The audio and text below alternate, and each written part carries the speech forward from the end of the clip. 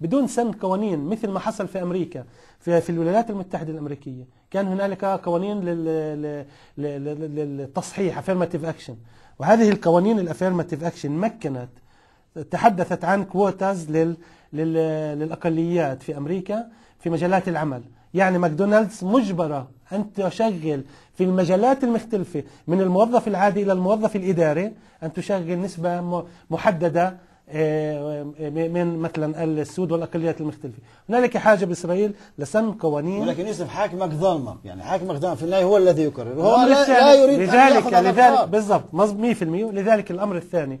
هاي استراتيجية واحدة. محاولة التغيير في البرلمان. وهذا العمل لا نقوم به حتى الآن. للأسف.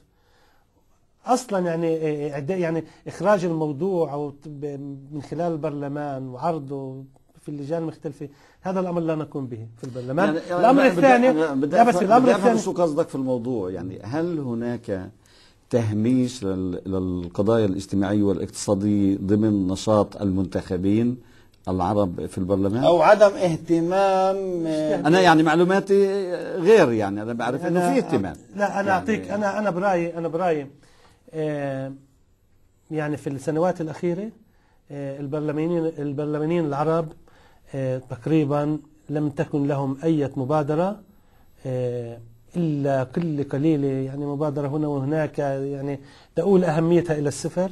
لم يقوموا بأي مبادرة اقتصادية اجتماعية لتطوير على المجتمع أنا مش موافق. أعطيني مثال أنا بعطيك مثال. أنا بعطيك مثال مثال. جدي. في جدي. آه. جدي أنا بعطيك. يعني بدون يعني مش لأني متحيز موضوعيا.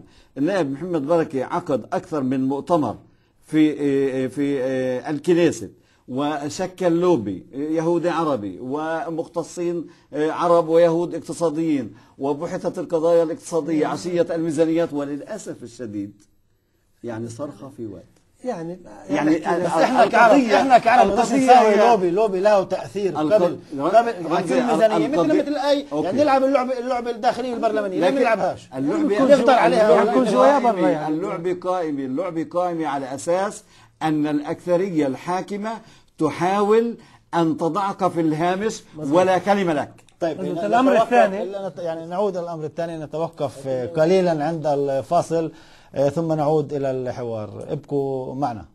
عدنا آه، مجددا إلى الحوار. كنا نتحاور في أغلب وقت هذه الحلقة لموضوع التشغيل العربي في الداخل موضوع الاجتماعي الاقتصادي. معنا ضيفينا يوسف جبارين آه، المحاضر الجامعي ومخطط مدن والنقابي آه، جهاد آه، عقل. سنواصل قليلا الحوار في هذا الموضوع ثم ننتقل إلى موضوع ثاني موضوع القدس. ولكن قبل الانتقال إلى موضوع القدس أريد السؤال ليوسف جبارين. يعني نحكي يعني نحن تحدثنا عن المواطنين العرب بشكل عام ولكن هناك قضية حارقة بالفعل هي عرب النقب. سبعين ألف عربي.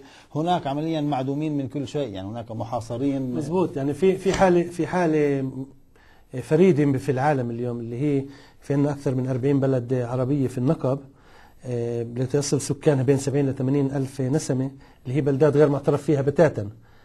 لا تملك لا فيها آه، الكهرباء ولا فيها المي ولا فيها شبكة شبكات الشوارع والتصريف الصحي وال يعني لا توجد فيها أي خدمات والمواطنين غير معترف بهم بتاتا. يعني عمليا هن والعالم والعالم عمليا هن بفكروش هسه بمنطقه صناعية يعني بالأول بدهن بنية تحتية على الأقل يعني, يعني أذكر هذا الموضوع هذا يعني. الموضوع هذا الموضوع مهم جدا لأنه أنا برأيي آه، مهم لنا كفلسطينيين آه، نعرض الموضوع على العالم. انه هنالك 80 ألف مواطن فلسطيني غير معترف فيه. لا ولا يعني ولا أي حق لهم آه، في في الوجود. نسبة البطالة عندهم تصل إلى 70 و 80% نسبة البطالة عند النساء في هاي في هاي البلدات العربية تصل إلى 95 و 100% فهذا شيء يعني محرج جدا آه، مؤسف جدا. ودائما نحن يعني آه، بنتوجه لهيئات عالمية لمؤسسات عالمية لشخصيات لقيادات عالمية وفلسطينية أيضا. آه، طرح هذا الموضوع إنه ماذا يحدث في النقب. كذلك الأمر يعني هنالك أيضا في مليون دنم عربي في النقب اللي تم مصادرته. آه، والهدف من عدم الاعتراف في الأربعين بلد عربية هي نقلهم وتركيزهم في بلدات آه، عربية آه، خارج آه، خارج هاي المليون دنم يعني, هذا شيء مؤسف جدا آه يعني صحيح. جهاد جهاد هناك من يقول ويمكن القول صحيح إنه هؤلاء يعني منسيون حتى نقابيا. نقابيا يعني من من حتى داخليا عندنا مين مين مين يعني بدون بدون شك إنه في هناك حالة من الإهمال آه، تجاه هاي الشريحة اذا في آه، تقصير من القيادات المحلية اللي حكيناها في البداية. قلنا هناك حالة من الإهمال العام لهذه الشريحة. يعني ليس فقط آه، هذه القيادة أو تلك. واضح هناك التمييز هي المسؤوله لكن لكن, لكن, لكن هناك حالة واحدة هم ليسوا مهملون في المعطيات التي تصدر عن مصلحة الاستخدام بالنسبة للبطالة في تقرير البطالة بعرفش الدكتور يوسف إذا عرفت أنه إيه، أحد أسباب رفع نسبة البطالة المعدل العام هي هاي المنطقة. يعني إذا بتأخذ إيه، بلد من من هاي البلدات زي ما تفضلت 70% 60% 68% نسبة البطالة تؤثر على المعدل العام في البلاد لدرجة أنه مصلحة الاستخدام في مرحلة معينة أخفت البلدات هاي من المعطيات.